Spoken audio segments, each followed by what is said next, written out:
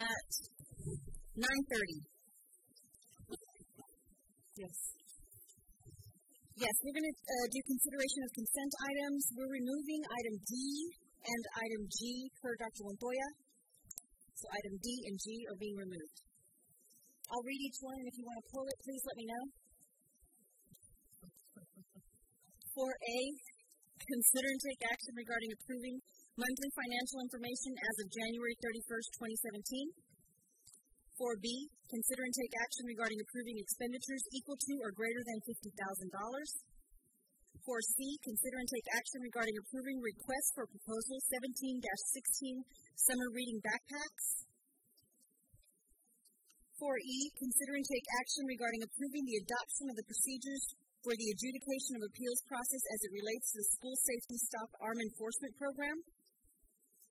4F, consider and take action regarding approving an RFQ for DW Rutledge parking lot. 4H, consider and take action to waive penalty and interest on tax payments paid on February 1st, 20. Pull 4F, okay. I'll go back to 4H. Consider and take action to waive penalty and interest on tax payments paid on February 1st, 2017.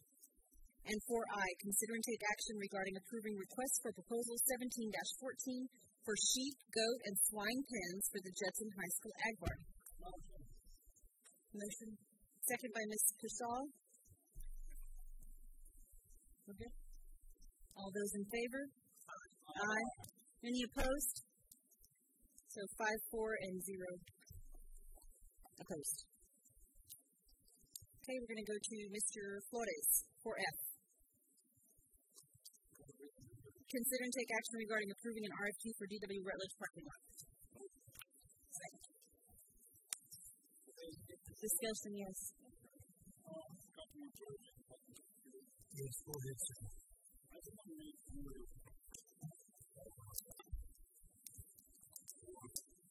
Yes.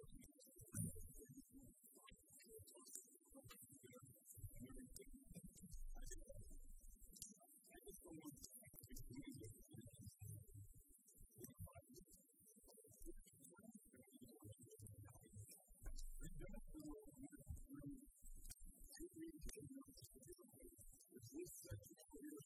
you.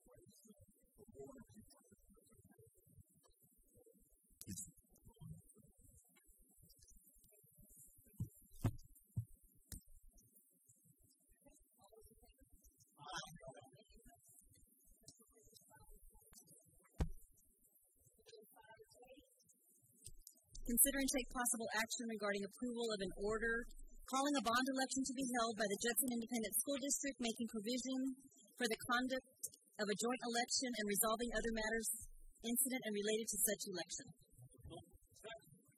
Okay, motion, Mr. LaFoy, second by Mr. Salinas. Any discussion? Ms. Paschal?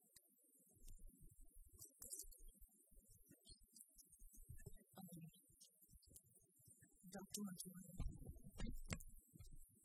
Dr. Montoya, this is the official order calling for a bond election. That is correct. The May uh, time period, absolutely. May 6th.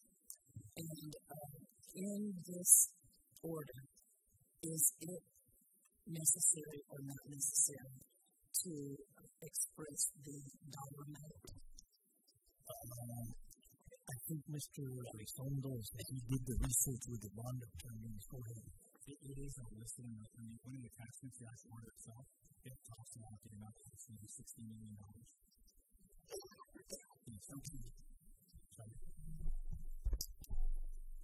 Well, this is not exactly on the agenda. I just have a question, Dr. Montoya. If this is the official, then, again, there was a report on the news this morning that made this that made this open to the public on the news, and it was before this declaration was made. It again, uh, I would say it, it really should have come this way first, but I cannot, uh, without research, find out how the media had access to the specific wording. Well, they, they obviously would look at that because that's a public piece, so maybe that's how you go.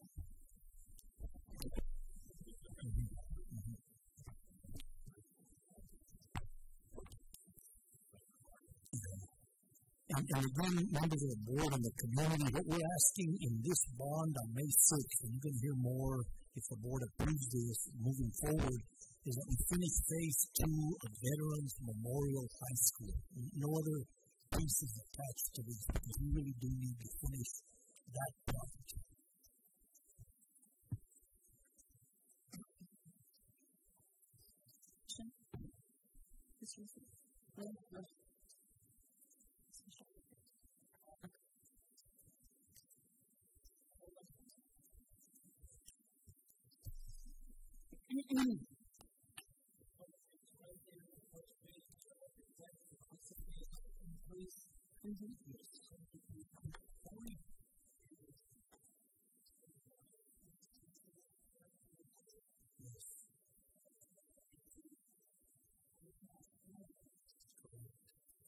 Some page 103, 103, page 103.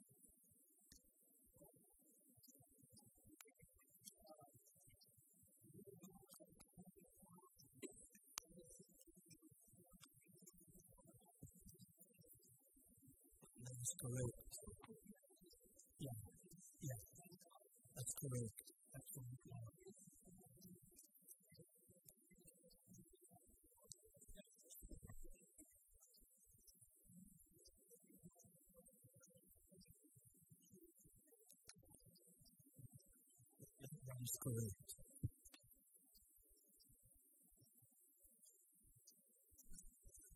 Okay, we're going to go ahead and all those in favor? Aye. Any opposed? Motion carries six zero. We'll go to five B. Consider and take possible action to order a regular trustee election for District Two, District Three, District Four, and District Five, and special election to fill a vacancy for District One, unexpired term. Yeah, Okay. Thank you. Discussion? Okay, all those in favor? Aye. Any opposed? Motion carries six zero. Five C, consider and take possible action regarding approving the personnel report and updates, including new hires, resignation, and administrative appointments. I was gonna say as discussed in closed session. As as discussed in closed session. We have a motion by Mr. LaFoil. Second, Mr. Flores. Any discussion? All those in favor? Any opposed? Motion carries 6-0.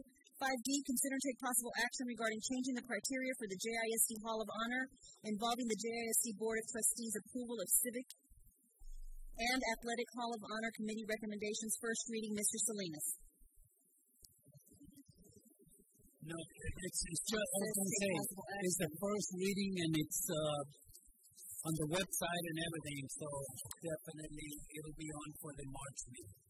Do you want to say anything about it? No? I'm just making sure. No, ma'am, because it's the first reading. Okay, I'm just checking. All right. Moving on to six A, Dr. Montoya, Superintendent's Report. sorry, Oh, I'm sorry. I apologize, Mr. Macias. Five E, consider and take possible action regarding implementation of an annual district-wide intervention awareness plan. Mr. Macias. Yes, sir.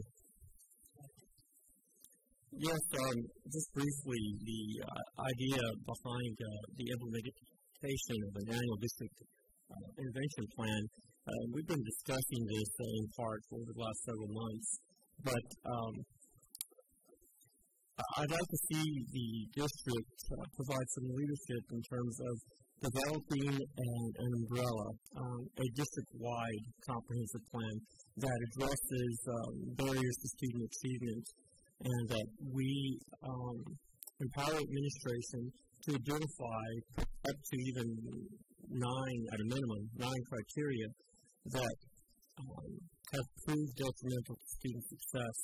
And when I mean that, I mean things like um, depression, anxiety, suicide, um, suicide rates, um, poverty, homelessness.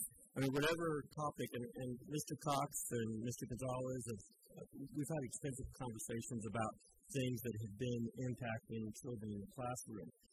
Um, the reason why I'm asking that we take an extraordinary step to have a district-wide um, initiative for this is because our current practices um, do enable our schools to use district resources, but not all schools use those resources. So you have some sort of segmentation, different schools doing different things.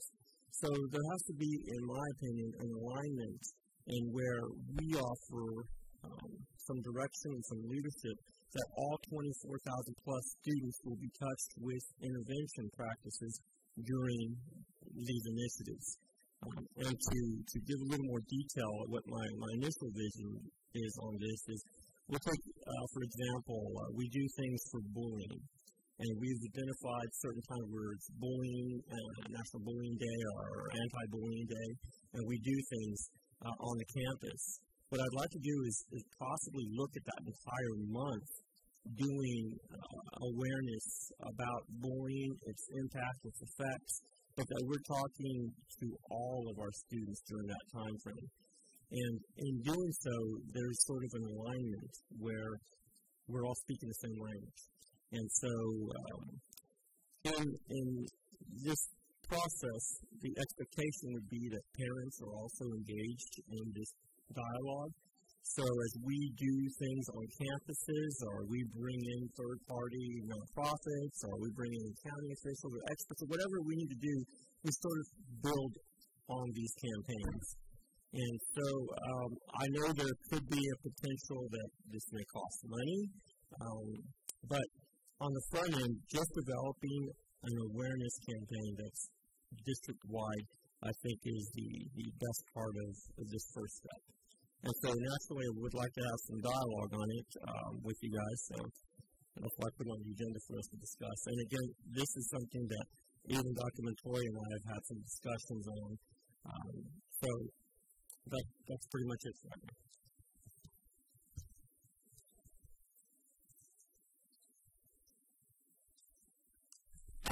Uh, Mr. Macias, so the uh, the counseling calendar that we have for 2016 that's included um, shows that our district has a lot going on to address those issues that are concerning to you. And then, wasn't that a wonderful presentation that Mr. Galloway made to let us know what's going on at Candlewood? They're, they seem to be addressing the concern that you have right there just at Candlewood Elementary. That, that was an awesome report that we got from Mr. Galloway and those other gentlemen. So, since we have things already in place, wouldn't the question be how are we going to enforce what's already here? That would be, um, be on my pay grade. But uh, I tell you what, um, I know that where we have some, some potential deficiencies or weaknesses um, is in the areas of ensuring that these practices, these protocols, these messages are universal across the district. And so that there is not a school like Candlewood only coming to make this presentation, or, you know, so that there is some consistency across the district in our delivery, in our message, in our content, in our partnerships, uh, in our efforts to be uh, a leader in intervention. And so this is truly the first step in aligning the entire district. And, and when I looked at the calendar that was provided to us that outlined all these, uh, these activities um, throughout the calendar year. Um, I know that counselors don't um, aren't able to reach every student, and so there has to be more of a, um, an emphasis to ensure that all students and their parents, and I say their parents because it's we need to involve the community in this outreach.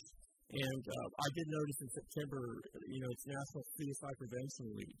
Uh, September could take the, the form of identifying what suicide is, having 800 numbers disseminated to our kids and their families that they know are, are still suicidal. I mean, this this may sound um, extreme, but in December when we had a, a loss of life with one of our kids at Judson, um, it, it, it, it hurt.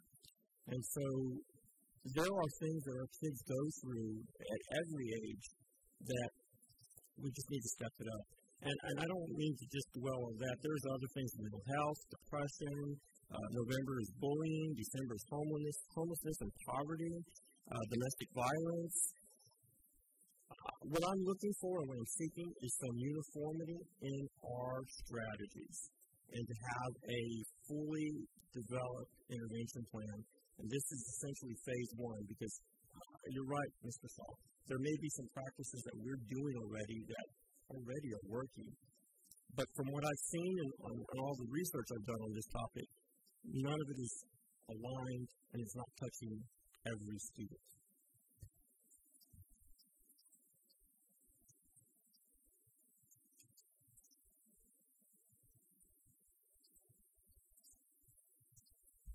Thank you, Madam President. I agree with Ms. Paschal. I'm looking at this calendar, and that's the calendar for all the school district, every school. And I am sure that the counselors, with the time that they have, and they're very, very busy, that uh, they all look at this and say, you know what, I think, yeah, this relates to our school. We're going to go ahead and do that.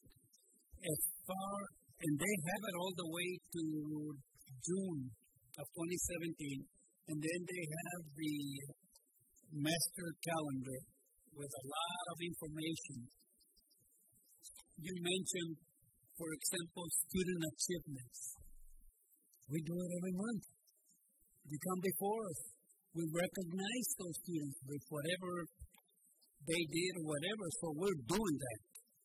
They, all the schools since I've been at Judson, forget the month.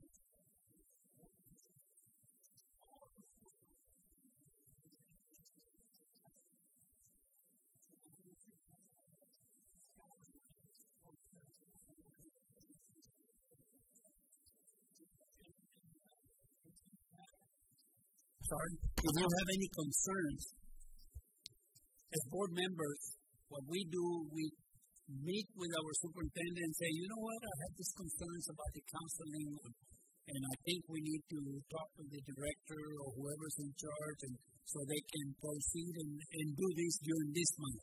I don't have a problem with that. Bullying. I think all the schools are doing something already about bullying. So there is a program already. I don't think we need to come out and do um, an implement, a new implementation of an annual district-wide intervention because I read it right here. So I'm sorry, Mr. Macias. I think it's great. You care a lot about our kids, but I think it's right here. Can it be improved? Of course. Can we give input? Sure, to our superintendent, and then he gets it to the to the right person or the the principals when they meet or whatever. So as far as that's, I don't think we need to do something else. It's right here, in writing. Thank you. Thank you. Um, I, I agree with Arnold. Uh, we have in place instrumentation. We have a, a department that is, uh, you know, when extraordinary things come up, like in December with a student you know, or anywhere else, if a, a child is hurt in an, or killed in an accident or something, that department, the counseling department are there. They go to that school and they take care, you know, as best they can of the kids. And uh, And again, as you can see through the calendar, we have, you know, all these things in place. You know, when, when you start talking about bringing in something else, Mr. Macias, you know, there's a, there's a cost to that, you know, and that's something that we need to bring in when uh, we do the budget. You know, we need to see, okay, is it, what else is it going to cost us? Because I think, well, we never give enough money to counseling or any of the departments, but, uh, you know, we give what we can or try to make everything work. And all the departments are great in working with what they have. You know, they do the, the great job in, in what they're working on, and they take this is what they have, they know what they have. If we do have to have some extraordinary things, we can throw money in it that way. But as far as a, another innovation type plan, I think we have everything in place. That, that's just my opinion. Thank you. Well, I appreciate the dialogue, and this again is why we're discussing it. I think um, I'm only one board member, and we need to move forward together on this issue. Uh, the only thing that uh, comes to mind in response to what you mentioned, Mr. Flores, is that the social services that we had um, are, are reactionary in the case of a need. This is intervention, and this is preventative. The intent is that we get ahead of these issues before they become issues. That I don't think we're doing as well as we could because we probably need to allocate more resources to that. But in 2011, when we cut our social services department, I think that's had a lingering impact uh, on our kids. And I, I would say that when we look at our economically disadvantaged population, the risk factors there, they screen for the need for support. I don't, I'm not going to say this is easy. We, we have a great plan here.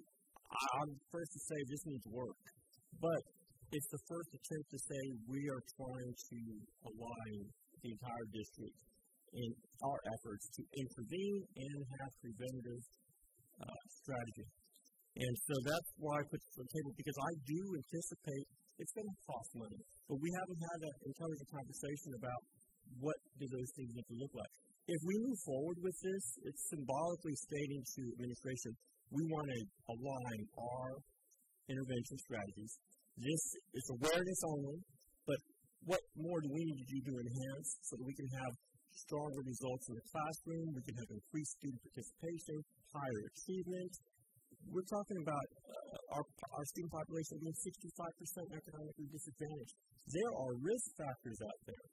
We need to get ahead of them.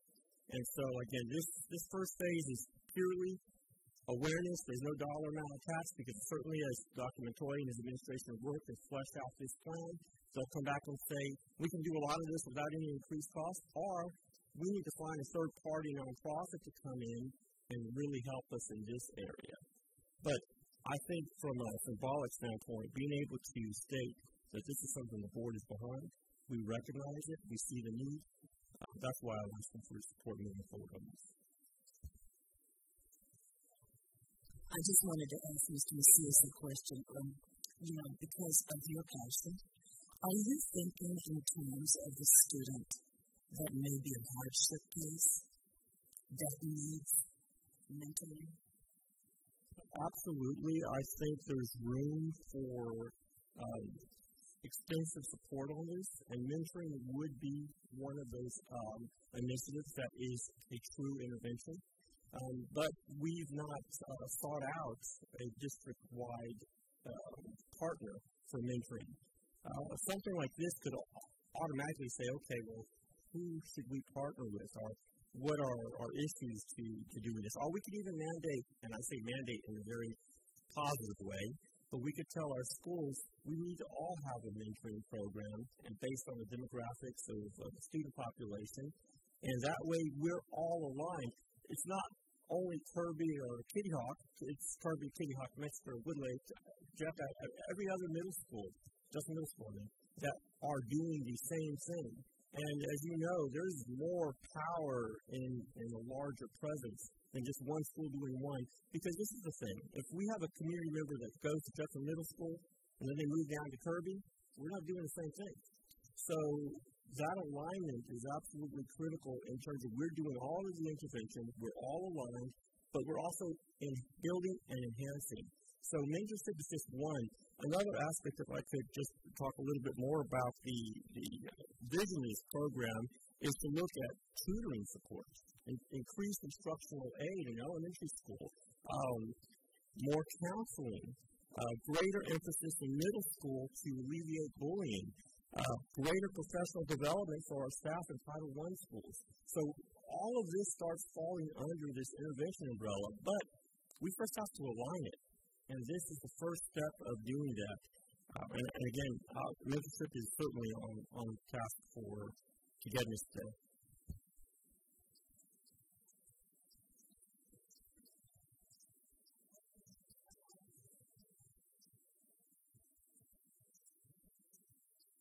Uh, yes, thank you.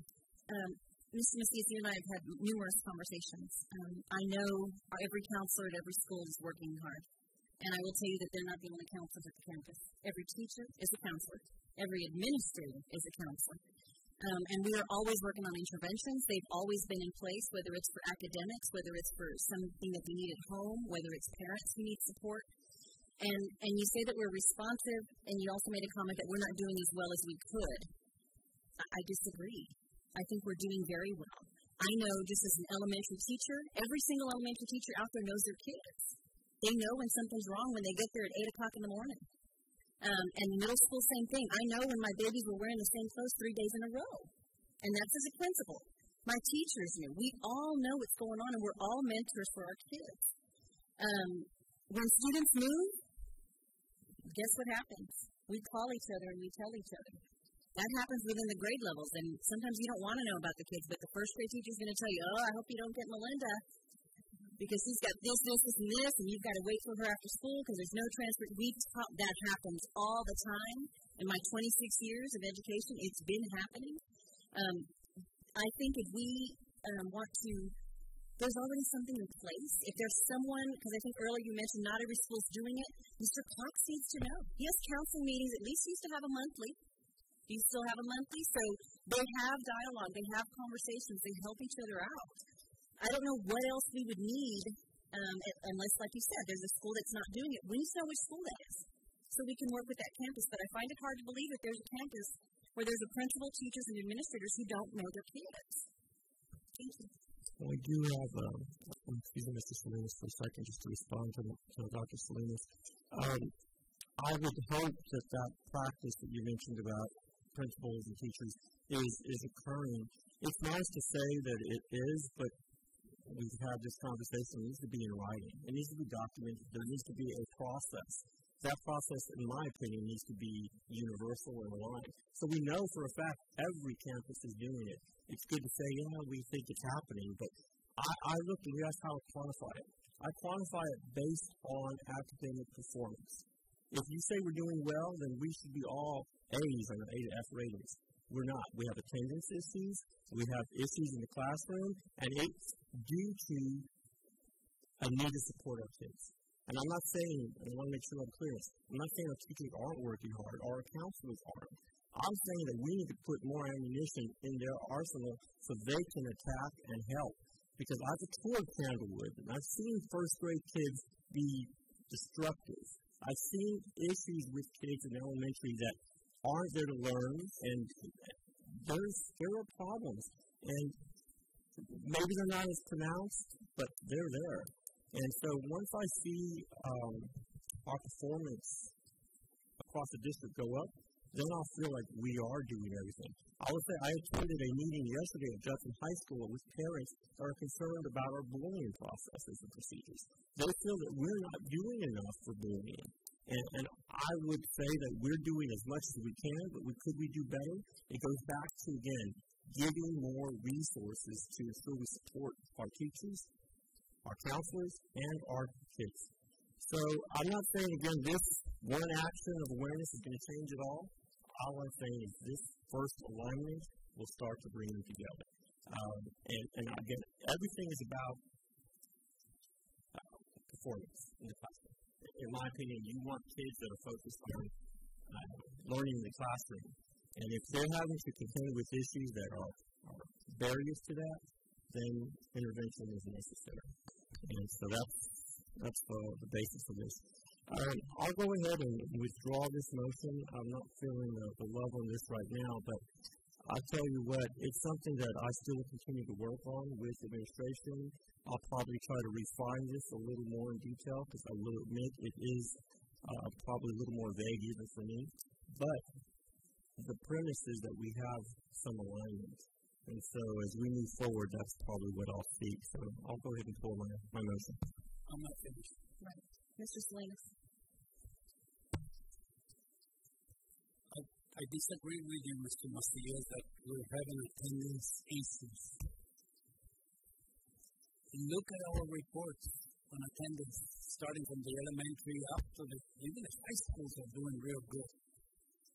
If you're going to spend money, and if you support me during the budget, I'm going to be requesting that the administration, starting with Dr. Montoya, our counselor director, Mr. Gonzalez, is going to bring to the board to bring back our social workers. That was the biggest mistake we made, not because we wanted to get rid of them, but because of money from the state that killed us.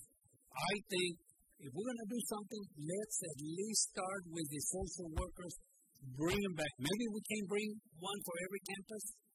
Maybe they start sharing one year, but I think we need to start somewhere. We're going to spend money. I like to spend money on that because I think I work with a lot of social workers when I was at uh, the schools. Uh, makes a big, big difference because they work with those kind of kids that you're talking about. Okay, that they're being bullied or something. Maybe the counselor couldn't get to them, but I tell you one thing: the social workers were there every lunch period, and they know the kids and they communicate with them. So hopefully you'll support me with that, that we're going to be getting recommendations from Dr. Montoya after he talks to his staff about if we're going to have social work, how many do we need? Maybe we can start with a few. That's okay. And Then every year add some or something. But I, I think uh, and, and your intention is very good. I think we already have something rolling, and let's help them. Like you said, maybe more counselors let's start with the social workers and those schools that really need them. And, and yes, we're going to withdraw it, but that doesn't mean that we're going to stop talking about it because we need to talk about it. All these things that they have here, what can we improve? And hopefully, Dr. Montoya and his staff, cabinet, whatever, we look into, you know what? What did we recommend this? And yes, to make sure that all the schools are doing it. I agree with, that, with you on that, to make sure this is what, and uh, uh, I believe they meet, what did you say, they meet once a month, or the council, or whatever, right? Okay, and, and continue doing that. But definitely, I, I support the counseling department at this time, and hopefully, let's give them some more. I mean, some more social workers, not more work. Thank you. Well, Thank you, Mr. Well, Marquez. Yes, yeah, good. I, I, I appreciate that, and, and again, this is not easy even for me. I mean, I'm trying to put my, my hands on this, and it, it's just it's such a complicated issue.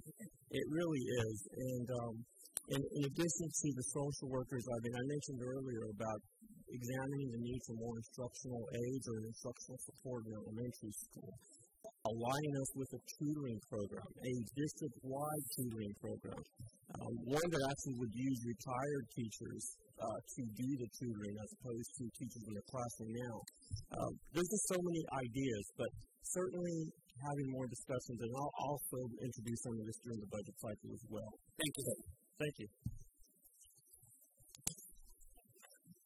Dr. Montoya, Superintendent's Report 6A. Uh, very briefly, of course, we had a very successful gala at the new Hilton Garden Inn. If you didn't know, that is a uh, very classy, positive place, and that was well received. We did meet uh, with some junior achievement people, uh, along with a couple of cabinet members on, on that program and the future to see if that's something we might look at. And also, I had a meeting with some superintendents at Trinity University on state uh, legislative funding issues and some other things. Of course, several of us attended the, the midwinter conference in Austin, and always, you know, it's good networking and also attending some of the sessions. Also at Judson High School, uh, the Texas School Safety Center at San Marcos University at the University of Texas State asked if they could do training. The, the state law, state regulation says every three years school has to do a safety audit. And they asked could we do training there. We had about approximately 30 school districts that showed up for that two-day training, and they used the Performing Arts Center in Judson High School. And so I think it was not only good training, but they also offered safety suggestions for Judson High School and those types of things. Uh, again, uh, you passed the position of assistant superintendent of CNI. I did the final interviews earlier this week. And we also had a JEF Judson Education Foundation meeting. And of course, we have a new JEF uh, coordinator that will be working to get grants for teachers, administrators, and also uh, the student scholarship. So we had that meeting. And yesterday I had a meeting with the elementary, a group of elementary teachers. And then later in the day I had a meeting with the secondary teachers without the administrators. So it's always kind of interesting to see what the teachers tell me directly, what's happening or not happening at the school. I mean, when I have principals meetings, I hear something different sometimes, to be honest. But teachers are very honest. They're going to tell me at my school, here's some successes, but here's some challenges. So I'll be meeting with those groups two or three more times before the end of the year, soliciting not only positive input, but is there challenges that we might as a district address. So, but anyway, that, that was it.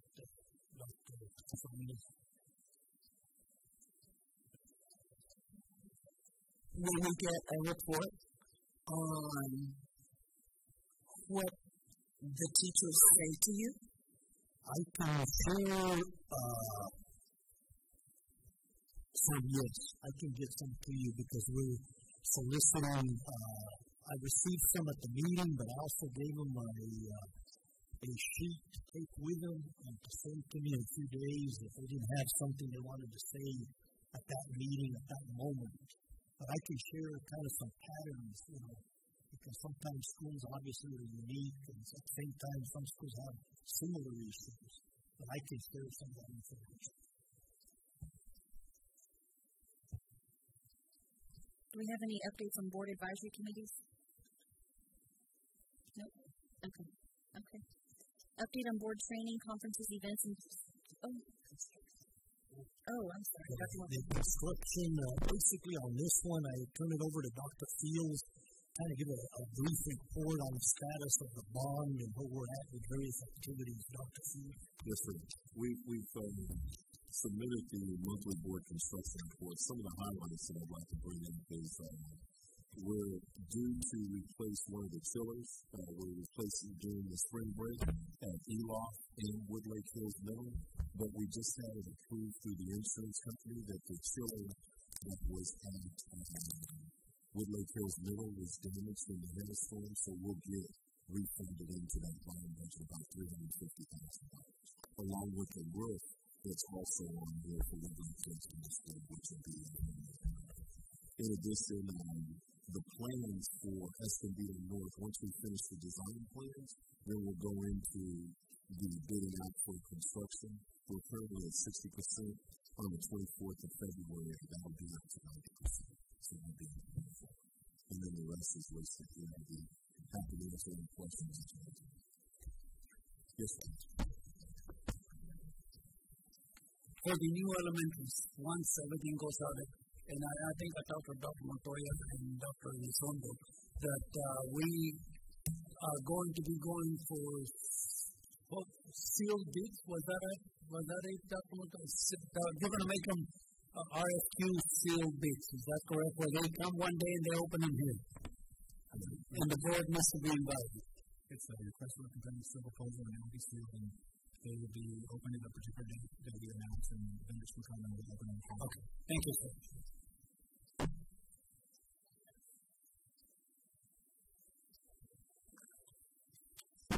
Update on board training, conferences, events, and consider future agenda item requests by board members. Mr. Mr. Salinas? Yes,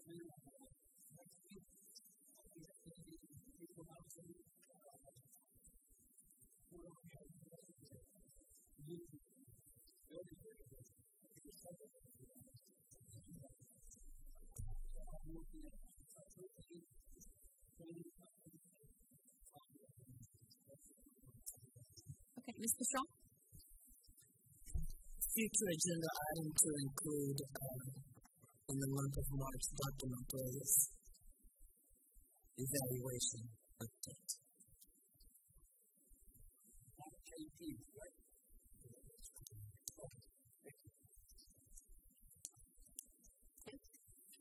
Uh, Mr. Macias? Yes, um, next week I'll be attending the, I'll be doing, oh, the whole thing.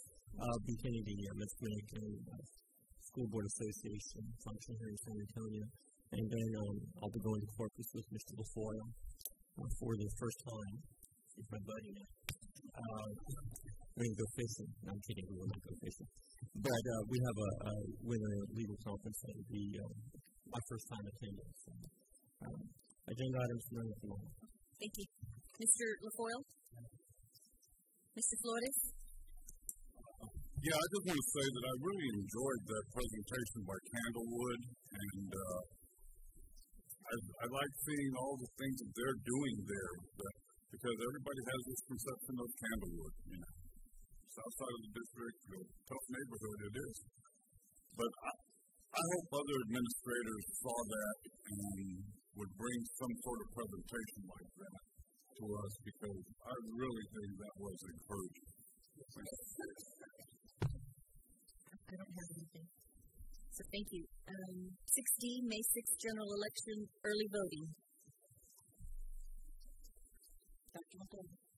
Uh, again, uh, I think Mr. Elizondo, if you want to share some information there, obviously the the May 6th is the, the, the actual election, but uh, there'll be some early voting. Go, go ahead, Mr. Elizondo.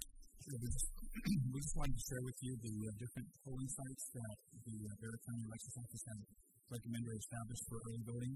And we also wanted to share with you that we were going to recommend they add a few other sites that are within our district. Um, we're wanting to recommend that they would have an early voting site at Veterans Memorial High School and Rolling Meadows Elementary School and at Kitty Hawk. Um, and if y'all have any other suggestions based on what's there, they currently have one at Judson Middle School that's in our district. They have one at Kirby City Hall, and they have one at University City. University Library.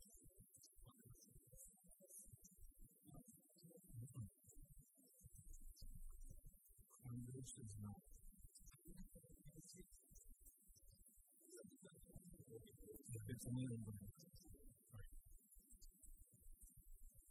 If you have any suggestions, uh, those sites we can listen to now, or if not, if you think of something later, you can share Dr. McCoy if you can let me know the next day or two, because we want to present those to the elections office in Bexar County to see if they can, if they're able to make a few changes and at least include some of these sites.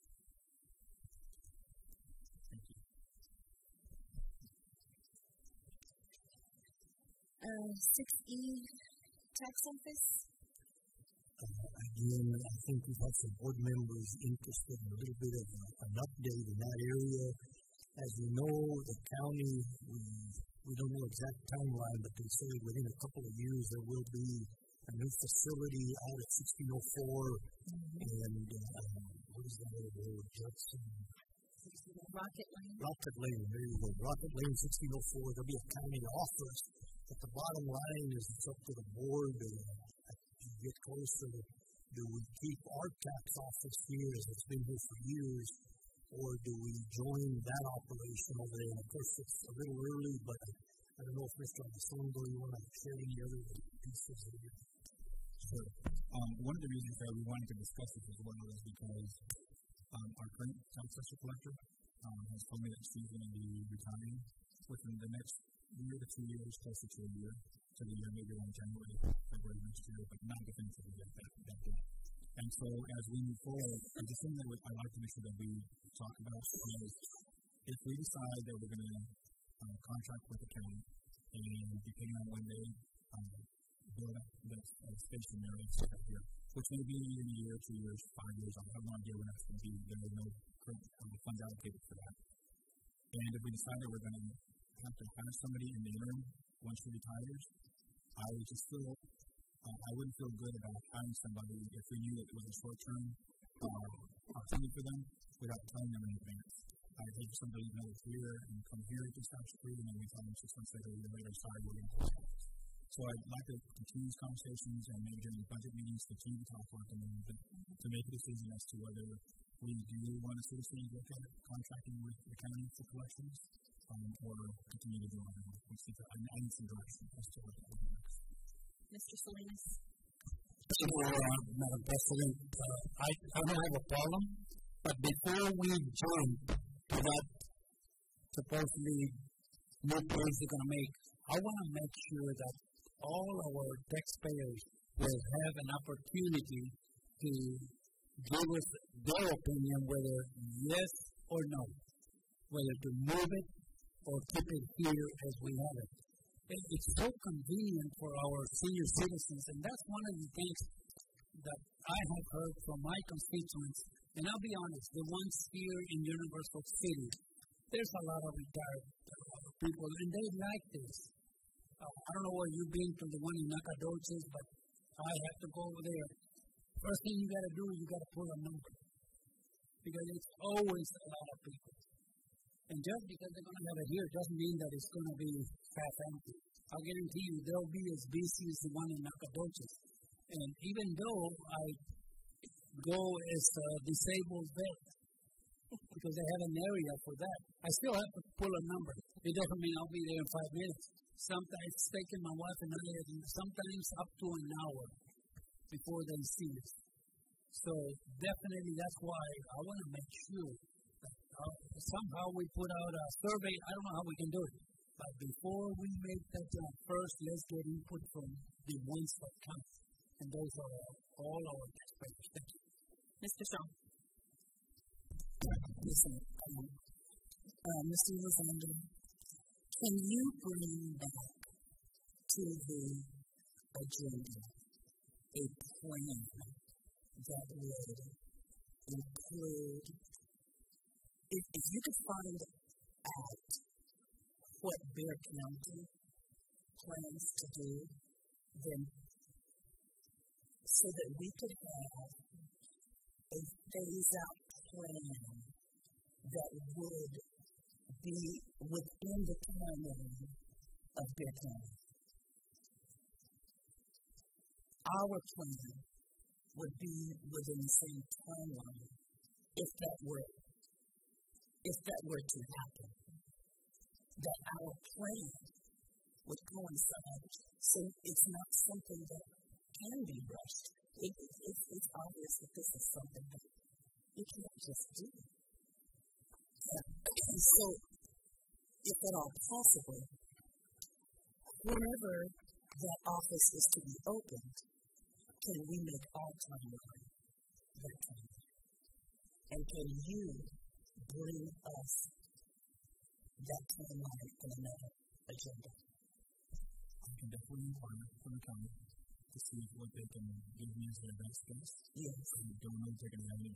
I'm not sure. They may have already and know exactly what they're doing. They may have. But I can definitely inquire and bring back to report back to you on what they've told. Um, if they come back and say, we don't know yet, then that's an alternative. But if they do say, this is what our plan is, I think that's right. And actually depending on, discussion we get over for them. Probably probably. And something else I wanted to ask you. Um, thanks for the duties and budget. So I would like to ask you, you, you have here um, where you denoted that some of these duties would need to be made. My question is, are there any of these duties besides the one that says there could be contracting? Are there any of these other duties that could be contracted? Like the Judson ISD real estate? We could, whenever we're going to acquire property, currently we rely on another individual to assist us with that. We could, excuse me, um, rely on a realtor to do that. However, when we've done that in the past, we always get a premium the because they commission, and we're talking about a two or three million dollar or more price tag, um, it becomes very uh, amount. So um, that's what we've also taken advantage of using our personnel. Okay. So then that brings me to the next question. If if if um, the office needs to remain for these duties, would these duties be for one person? I think that I believe that one individual could carry on the majority of these duties, and you wouldn't uh, require a professional position. I, I believe that our professionals can probably do most of these duties. There are times in the year when we're going to do budget preparation, for instance, that we have to do our advertising for food and taxation, whether we're going to do what's called a value study when, when the comptroller's office doesn't agree with uh, what their district values are, mm-hmm. then we may have to contract with somebody to come in and help with those. Um, but it would just be we hire them to come and do that particular function and do that. Well, I'm sorry, I was going to say um, the other services that have contracted uh, with the county, the larger ones, Elmore, North Side, Northeast, they uh, typically do as well contract agencies and their name is for this Sam Kavusi, who does a lot of work for them for, with the taxes and their funding. Um, he's in the governor now, so he doesn't do very much work anymore. And most of Northside ISD have their tax reflector that they had in the past before they closed office. And he continued to help them for many, many years until he deceased um, to, to continue some more complicated things that really require some of the special um, expertise in forensic systems to kind of assist them a little bit. So we would kind of follow suit, maybe whether it's an individual we have on board or somebody else who has that expertise. And we're just being contract for those particular projects. Thank you very much. Mr. LaFoy. I've been 13 years. During that 13 years, I've heard the county say that they're going to put tax office on it. People don't hold your breath because I don't think it'll ever happen. Any further discussion? Okay, 6F, parent surveys, Mr. Macias? Yes, I've seen these too. I um, spoke to Dr. Montoya a few weeks ago about um, potentially conducting a parent survey, and um, I had one of our, my colleagues tell me that uh, we do a parent survey of some sort at the end of the year. So uh, it's been a, it's been a little while. I just want to know what are we doing? How do we gather input from parents about um, their experiences on, on their campuses? Is there a, a current process that we have? There really is not a clear process, but I think we can reactivate a parent survey. And being that as a full board, we need to have a meeting on strategic planning where you could get into input instead of doing a survey for strategic planning and one for parents, we can do one that can solicit information in different areas from the community and from parents. And I think that'd be the best route. We're we're trying to still do a strategic plan. And again, I remind the board you received from the board president several dates that if we could just get together some evening, we need to do that piece also strategic planning. But piggybacking off of that, Mr. Macias, I think we could do some kind of survey with different topics, different areas, and, and use it in the strategic plan as part of that process, but also to solicit input from the community and parents. Well, I obviously think uh, parents would appreciate uh, providing some input on, on their district, and, and uh, it would probably be helpful for us to see that information as well, so establish something regulatory or consistent. But um, the other part of that was um, taking notice that um, over the years we've we've sort of gone the route of PTOs as opposed to PTAs. And the PTOs are great. They're sold to parents as uh, more autonomous, more control over their funds. And, but what I'm finding is that no one across the district is talking to each other as well. And um, wondering we started the practice of bringing all PTO leadership together to the district to have conversations about what's happening. Um, I would like to see us try to do that twice a year. I don't, I don't know. That, I know we get busy, but that element of parental engagement is important, and I just don't see us achieving that that work. So when was the last time we had one of those district PTO meetings? It was this past fall, so we, we probably need to have another one. Your point's well taken because depending on the school, it ranges from some having a PTO, some having a PTA, and some, some of them having a parent advisory committee. So those are all three different things. And in all honesty, we do have some schools that don't have anything. We got to be honest about it.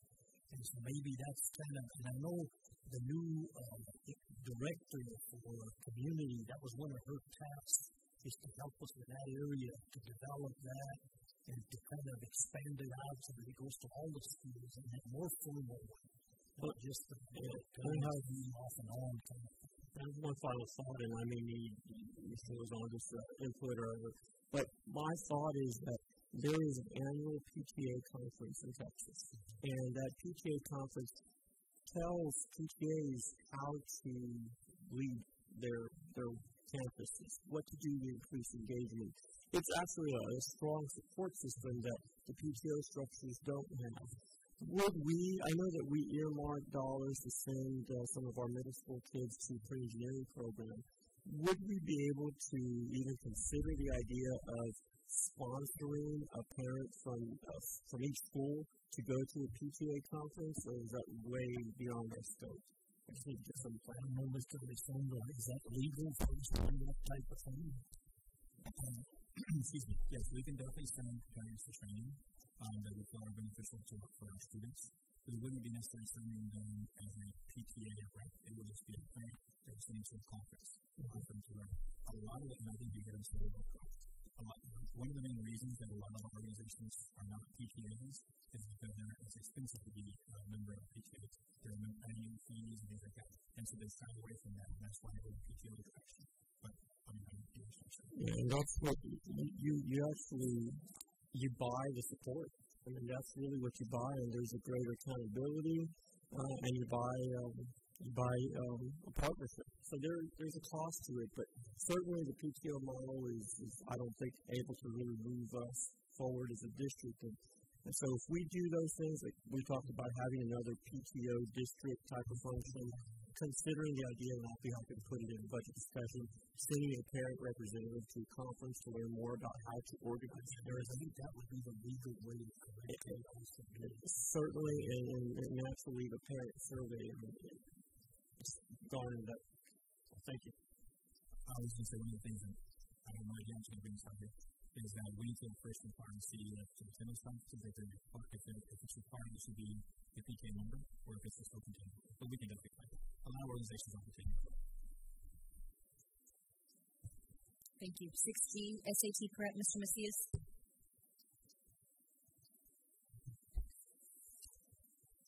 It's my favorite subject. Just real quick, um, just an update on that. I know that we talked about uh, some of those initiatives and we started the whole new process this year. Just a real quick, where how's things going? They're going well, Mr. Macias, and we have a report that I can um, give you a copy of. Um, one of the things that we continued the SAT workshops. We, in the fall, we did them uh, on Saturdays, and then we got approval to provide transportation. In the spring, we're holding those uh, SAT prep workshops during the school day. Uh, we have a number of students that have participated. Uh, it continues to increase. The October administration, I will tell you that out of the 1,016 students that registered, we had 90% uh, participation. That's 919 seniors were tested. And uh, in preparation for the March administration, that will be for our juniors, we have uh, anticipated 1,400 students that will uh, be testing for SAT. And um, is, I guess, evaluating um, performance. This is this is year one with this strategy, right? So uh, by next year, we could probably start to evaluate to see how effective uh, efforts are going and if, if I do recall, um, Dr. McClure, we've had some discussions about uh, developing a uh, capacity within our district in regards to SAT prep. And is that still ongoing exploration? Okay. Yes, sir. Yes. Thank you. Um, I know this is one of your passions, Mr. Macias, but I think if we could keep this report to quarterly, you know, because you can see more change in a quarter than from February to March to April. And I, I just really think that it would be more useful of our time if we get it on a quarterly basis and do it like that. So like regularly, every quarter? Every quarter, but I mean, not every month doing the same thing. Oh, how's it going? But, you know, I mean, they have reports for us, and we can get them on a quarterly type basis here in front of everybody. And, uh, you know, I, I just, you know, I, I see this every month, same thing.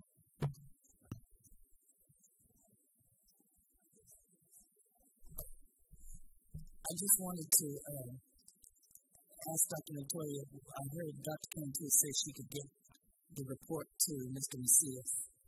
But what one board member gets, we all get. And that's been our policy. If the board member has information, we will always share it with everybody. The, the initial request as well as whatever information or data you're, requesting. So will we get that soon? Yeah. That is actually available. We have copies of this, this evening for you.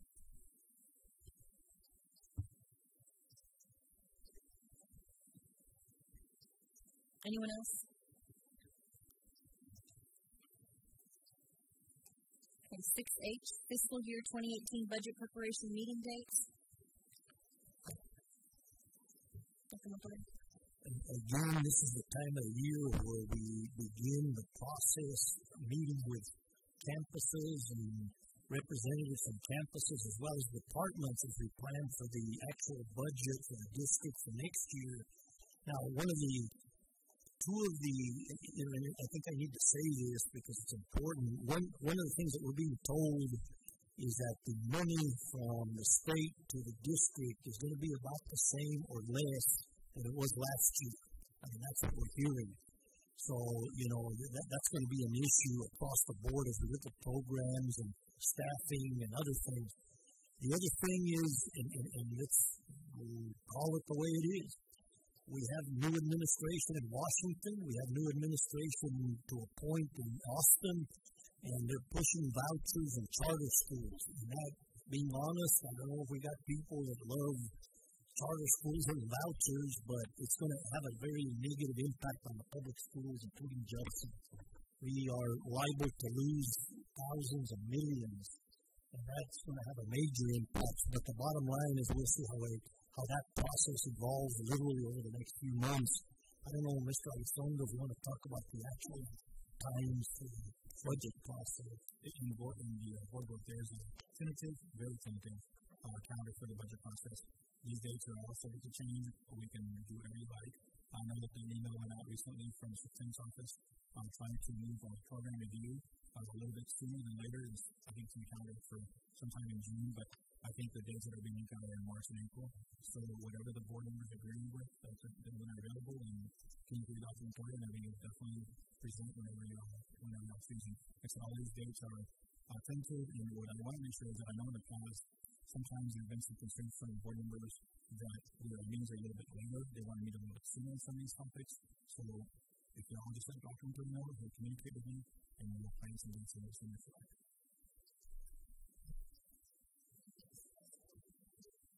you. Well, it's either a program review or actual um, budget. Actually, um, other times we discuss this other items the budget.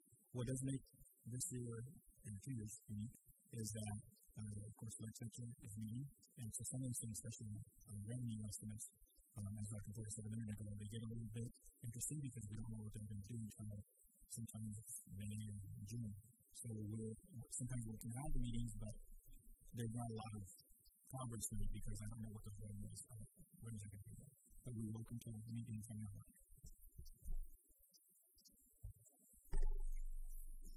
Six I, consider and take action regarding approving statement of impact submitted by the following schools. One, Great Hearts, Texas. Two, Texas, Texans Can. And three, International Leadership of Texas. Our, uh, you know, just very briefly, the position always of the district, because these are technically charter schools, brand new ones, has been uh, that we do not support that they open or get built, if you will. There is a district form that we sign off on, and we put the reasons why we disagree, why this particular school ought to exist or, or open. And of course, we sent it to TEA in Austin. And I hate to say it, but over the years that I've been dealing with this, I don't think much happens to it. You know, somebody reads it and they file it and it ends there, and the school still gets built, and sometimes we lose students and funding and everything else. But anyway, enough said. We need to take a we need to go. Just a second. It, well, the, the, the, the items that take action. No. We don't need it. Okay. And we've already done our closed session. Oh, yes, Ms. Cristal. Lori, uh, had this item stayed on the consent agenda, I was going to ask for it to be pulled, but you pulled it. When will this come back again? Which one? Item D, I'm sorry. Four D. Okay, the, on, the, on the district of innovation. Yeah, you pulled it, didn't give us a reason. I pulled it, and we need a little more time to research and, and to kind of see what's out there. There are about 1,100 school districts in Texas. My understanding about 20 or 30 are going to go with the district of innovation. So it's still new on the table across the state. And we want to see how that goes also, but also we want to talk internally to see what is feasible for Judson ISD. You know, is there an area there that the board and the community and our administration and staff will approve? So we will be back, but we'll be a little more specific with the areas. Okay, meeting adjourned at ten thirty-five.